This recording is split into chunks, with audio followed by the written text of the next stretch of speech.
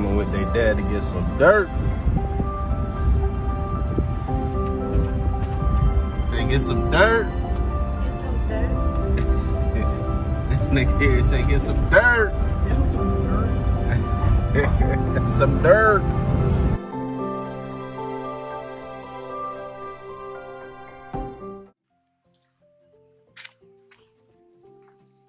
Hey guys, how you doing? We at Sweetwater State Park today.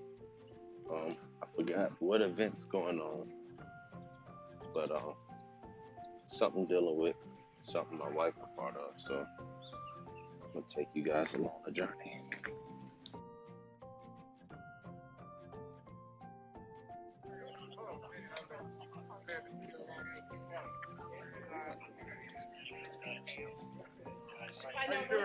What's going on, boss? Nick, nice to meet you. Yes, sir. We, we, we don't we don't come out here. Victoria. Victoria, this is Nick, my husband. How you Victoria is the vice president. Nice to meet you. Right here, we talk to her sometimes early. Early in the morning, yeah. All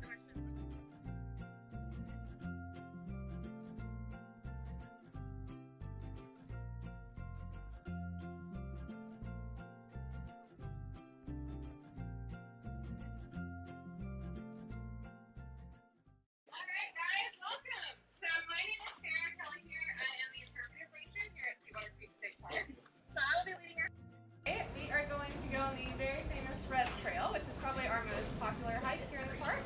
If you guys have not been here, wait, I know you guys. Think have all been here. Has anyone not been here before? Oh, cool. Okay, we have a couple. So we're going to go to the Sweetwater Mill Ruins, also known as the New Manchester Mill Ruins. And we will get to go inside today. So you guys will get to see the interior of those, which should be fun. But yeah, as we go along, I'll tell you guys a little bit about the park, a little bit about the wildlife, the flora that you'll find here. And then about halfway down the trail, I will switch and tell you guys a little bit about the history of the park and a little bit more about the mill itself and kind of what happened to it and the story of the people who worked in it. Does that sound good? Alright, should be a pretty easy hike. Um, if anybody wants to ask me a question along the way, feel free to stick your hand up or yell at me. I'm happy to answer them as we go along. So we'll get going.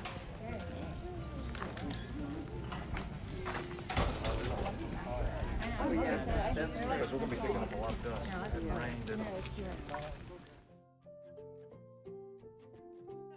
talk a little bit about some of the plants that you'll find here in the park. So I'll start with this tree behind me.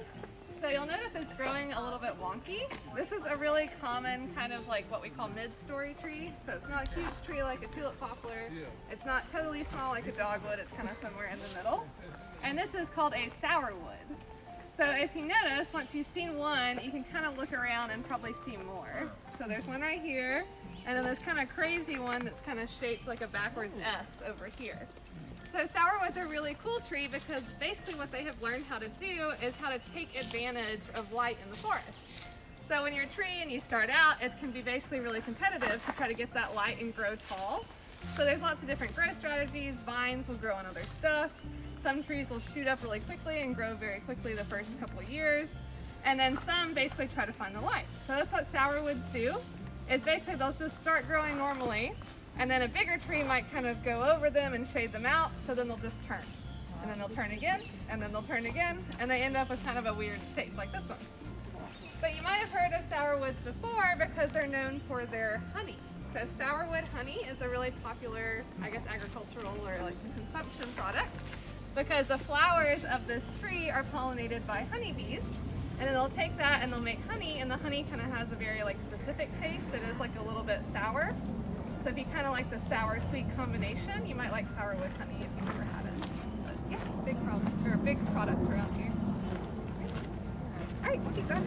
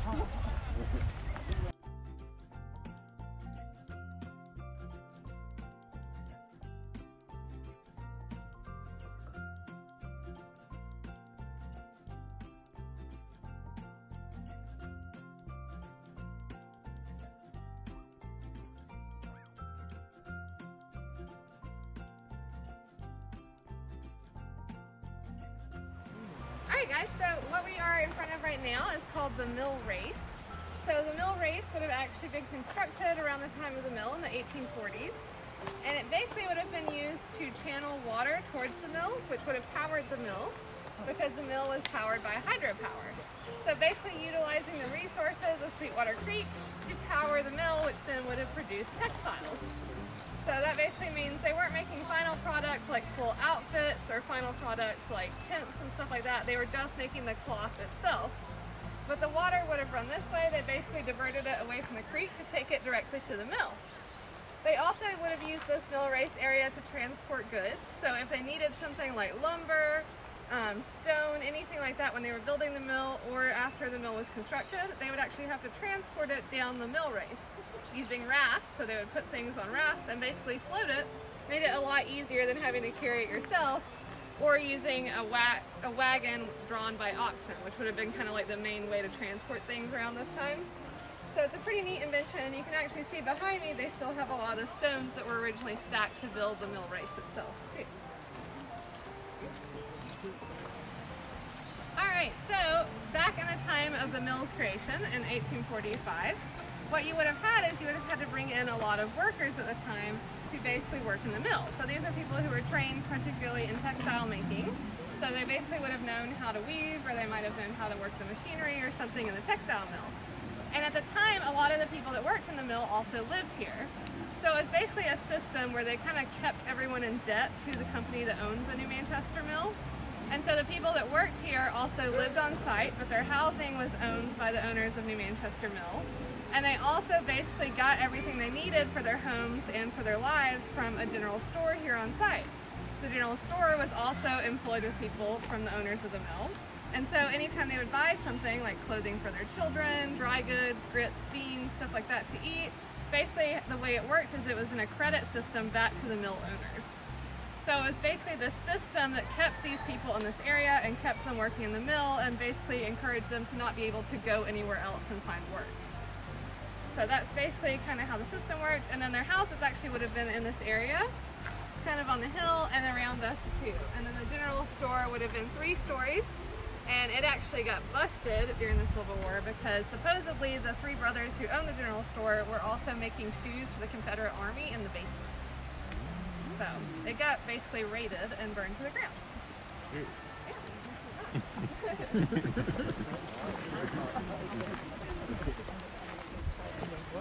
You having fun? Yeah, It's your first time out there?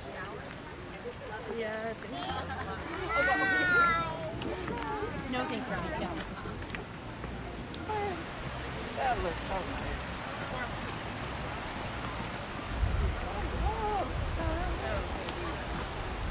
The original path of the water for the mill race would have kept going to where that girl and her dog are over there. And that would have continued on to the mill, which have powered the water wheel, that then powered all the machinery in the textile mill.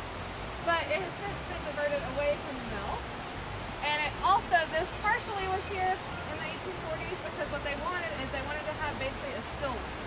If you had too much power coming from the river, if the river was really flowing after a big storm or something like that, it could basically break the water. That rush of water coming through. We all probably know that water is pretty powerful when it wants to be, like the Grand Canyon if you've never been there. So basically this was a way that they could open this up and kind of divert the water away from the mill to make it a less powerful flow.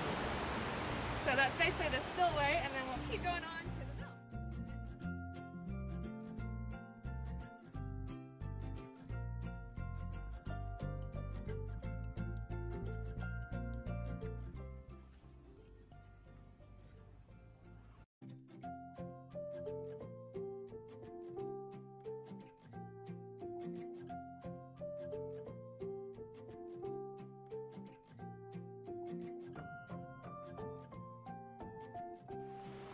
see the water?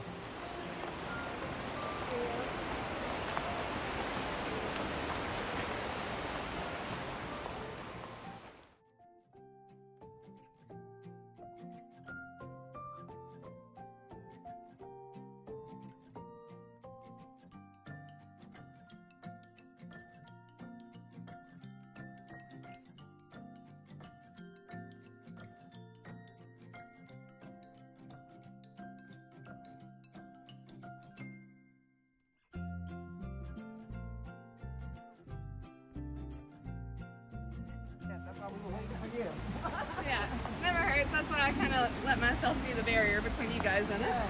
Not that they're gonna do anything, but you know, never hurts. All right, so you are now standing in the New Manchester Manufacturing Mill. So back in its heyday, it would have really been most productive around the 1850s, and it would have been one of the tallest buildings in this area when it was constructed. So it's pretty neat because a lot of the materials to build this were actually either made here or gotten locally. So the timber was from trees that grew around here. The stone was quarried locally. If you guys came in on the interstate, you probably noticed a lot of stone quarries on the way in. And then the bricks actually were handmade too, primarily by enslaved people, and then put on the banks of the river to dry and harden. So pretty much everything here is from the same area, so it's probably for Douglas County. And then it was hand built, which obviously you can imagine it took quite a long time to complete. And back then we didn't have most of the modern conveniences that make building things a little bit easier. So any things you had to transport, you put in a wagon that was carried by oxen. Any of the stonework, the masonry, anything like that had to be done by hand. So it was a lot of work. But it would have been five stories back in its heyday. And I want to go show you guys one more thing, so we'll kind of walk this way. And we want to get our group picture back to the kids. Yeah, So wherever you see I was the gonna say, post I or could whatever. say like pocket here, pocket here. Uh-oh. Yeah, this, this is a whole bunch of them. I mean, it'll be just like squishing a bug, except. Hey, accidents do happen. Frogs on fire. You go back to kids over there. See, but I, I, I already knew that you was full of jokes. Dang, people used to. People used to come to work here every day. Yeah. This big- be a nice Nicaria, place to come a over here. too. It's nice to hear it, take a picture right here.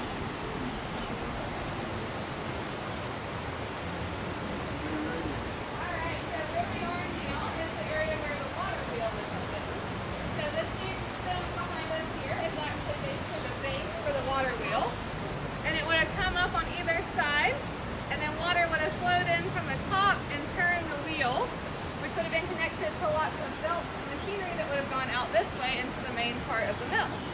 So excess water came off of the wheel and came out right here, flowed back into the river. It wasn't just like hanging out in here. And there wasn't a lot of machinery in this area because it was mainly just the wheel that took up this whole space. But further above us, you can actually see where the floors of the mill were. So those indentions there on the brick, that would have been the wooden floor that would have gone across. But because of what happened to the mill, we can't really see much remnant of the wooden floor. Does anybody know what happened to the mill? There was a Fire. There was a fire. It was a started fire. believe it or not, it was not spontaneous combustion. Although, what kind of mill was this that we talked about? Textile. So has anybody ever done their own laundry? Hopefully everyone has. So what do you clean out when you put stuff in the dryer? Lint, right? So what do you think there's a lot of in a textile mill? Lint. so there was actually something called spark fires that could start here in the mill. And it was dangerous because obviously once something burns here in the mill, it would have gone out very quickly. But the fire here was intentionally start. So this is actually Sherman's forces. At this point, we're heading towards Atlanta. You guys probably heard of Sherman's March to the Sea. So he was heading towards Atlanta. He basically gave the orders for some of his troops that were stationed in this area to come through here and cut off supply lines to the Confederacy. So Sherman was a smart general and he had a very specific tactic. He wanted to cut off any kind of supply line that was coming into the Confederate Army. That meant food, that meant anything they used for clothing, shelter, and any kind of materials or goods that can be brought in. So he got rid of a lot of the railway systems and then he burned down a lot of factories. So the textile mill here supposedly, probably was, supplying materials to the Confederate Army. So that linen cloth that they made was probably being made for things like uniforms, and then they made a thicker kind of canvas cloth too that was probably being used for tents. And so he gave the orders to get rid of the factories. They burned down the Roswell mill. You guys have been there. And then he gave the orders to his troops stationed here to burn down the Sweetwater or New Manchester mill. And that's what they did. Most of these troops at this time were primarily young boys, so teenagers. And so they probably had a pretty good time of it at this point. They've been here for about 10 days. They're waiting on orders. They're kind of bored. And they lit the, basically all the mill on fire. It went up very quickly because, like I said, it's basically just a giant lint ball. And you have wooden floors, which also went very quickly, and the wooden wheel, which is obviously no longer here either. So they were kind of bored. They were here for a couple days afterwards. Basically, they had arrested and captured all of the mill workers, charged them with treason, and were awaiting orders to figure out what to do with them. So while they were here, they actually did a little bit of graffiti. So behind your head, you can see the letters APG, DHC, and CV. So this is what we call Civil War era graffiti. And you can tell it's from the 1800s because of the flourishes on some of the letters, that nice kind of fancy V, the little N's on the D. So we can tell that this is from the period of the 1800s. If you look at some of the more modern graffiti, which is obviously in here too, unfortunately, it's kind of like chicken scratch. So this was actually from the period, and we actually know the names of those soldiers too because they graffitied another area. You what? No, he was looking at the beer can Oh, saying, well, yeah. they drinking beer back. That's probably also modern. yeah, I was gonna say. So we'll move in here and take a group photo, and then I'll kind of wrap up and tell you guys what happened to the mill workers. Okay.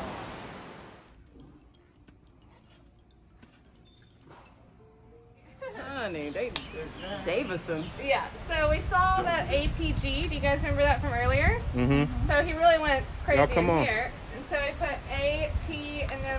Last name was Gilbert. And then the other one, Davidson. Harley Davidson. yeah, the founder of Harley Great, great, Davidson. great grandpa. Hmm. no confirmation on that, but we can speculate. So it's gonna kind of finish up. We can go out here. I just wanted you guys to see oh, this. Thank you. Mm-hmm. But I know that nobody wants to be cramped. Guys, basically what happened to the mill workers. So to give you a little bit of backstory, at this time period, around the 1860s when the bill was burned down, the mill workers primarily would have been women and children. Why do you guys think there would not have been any men? but they were at war. Yeah, they're at war, right? So most of the men are fighting for the Confederacy or not fighting and hiding somewhere so they don't have to fight for the Confederacy. But most of them are not around. So basically most of the mill workers at this time are women and their children. Back then there's no child labor laws and they actually liked having children working because a lot of the machinery when it would break and stuff like that, children are very small, they could crawl in and try to fix things. So pretty rough. Not working easy days either. You're looking at 12 and 13 hour days, basically working in a textile mill. So not really a great life for these people. And then, to top it off, they get arrested and charged with treason. And Sherman had a strategy about this. Hmm. so previously, about a year before, in Louisiana, he had also burned down a textile mill, but at this time he had let the workers go. He released them. Basically said, like, just go on your own way, you know, do whatever you want. But they found work at another mill in the area, which then went on to produce more goods for the Confederacy. So he kind of learned his lesson with that, and he arrested these people and charged them with treason. And then basically they waited for about two weeks, kind of trying to figure out what to do with them. Because like I said, you don't want to put them back in the same area. They could find work for someone else. So instead, he transported them 16 miles to Marietta. And they didn't have enough wagons to carry everyone, so some of them actually walked the 16 miles. And then once they were in Marietta, they decided to send them north because there weren't a lot of textile mills up north. They had better control of them there. So they basically sent them north to the Ohio River and just put them out. Unfortunately, a lot of these people never figured out what happened to their husbands or their fathers or any other family that they had in this area. So it's not like you had a cell phone, you didn't have a car. And most of these people were pretty low income. They didn't own property, they didn't own a lot of possessions. So they say that they were turned out, they had one thing that they were good at, which was textile manufacturing. And where they were turned out, there wasn't a lot of textile manufacturing in the area. So a lot of them unfortunately lived pretty sad lives. Some of them actually starved to death because they weren't able to find work or food. And then most of them never ever came back to this area. And there's some good accounts of kind of their personal stories in the visitor center when we get back if you feel like reading those. There's some good ones. But yeah, any questions for me? Are these bullet holes? Yes, they are. Awesome. So the mill actually was not gated and protected until about the 1970s. So the Georgia Conservancy really helped us basically kind of manage this property and turned it over to the DNR. Before that, it was just kind of like a local hangout spot. So a lot of people would come in here and shoot it, you know, they'd hang out with their oh. friends. So yeah, they used it for target practice. You can see all the holes right here in the wall. And then, Yeah, can you talk a little bit about filming yes, here yes. and how do film crews get their equipment? That's a great question. So uh, that was kind of my fun trivia to end with. so this movie, or sorry, this movie, this mill has been used a lot in movies. That's kind of like what we've been famous for. And as you guys know, Douglas County has had a lot of good income come in from the filming industry. So famously, where we were earlier, where the wheel was, that kind of entryway that goes towards the creek was used in the Hunger Games. So there's a scene where Gale, uh, Katniss's friend, and she go hunting, and then they come and they sit in that archway and kind of have a moment and talk to each other. And then that's probably, I would say, the most famous movie that's been filmed here. There's also one called Killing Season with Robert De Niro and John Travolta, and they used the mill.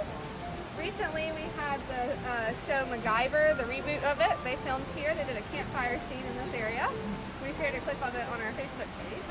And then probably the most famous thing we've had recently was the Falcon and Winter Soldier on Mm. Disney Plus. Mm-hmm. So they released that episode a couple weeks ago of them filming here. So it's great for us. We get a lot of nice income from it. Um, and I mean, it's cool to be able to brag about that to other people. But yeah, so to get stuff here is kind of obviously not very easy. and it's pretty amazing. They will actually run a bunch of generators and you'll see cables like all the way down the red trail. And they set up these things called boom lights. It's basically like a huge lighting pole, kind of like what you see like a baseball field. But they'll set them up like around the mill to create light. Sometimes they film at night and they'll use stuff like that. It's it's pretty nuts. Like if you're ever here on a filming day, which we just had two recently, a Netflix show last week, and then a Paramount show for that. So yeah, it's pretty neat just to see like all that goes into it. There's tons of stuff. And they'll put like fake stuff up. Like someone didn't like the fence, so they covered it with like this green screen kind of stuff, so they can edit it out. And then if you're really rich, like Disney, they actually basically paid us to take down the entire fence. And then we were like, yeah, you can do that if you put it back. And so they did. They put it completely back after they filmed the Hunger Games. So, Wow. Or Falcon Winter Soldier. Yeah. They got that money. Yeah. And they bring in props and stuff. The MacGyver people had a big campfire scene here, so they set up like a fake campfire. Are those concrete beams carrying, is that part of the restoration? No, so we did a big restoration effort in 2017. So the concrete beams are new, and then if you look in the windows, there's metal plates like beneath some of them. That is new. There's some new masonry on the bricks and the bottom windows here.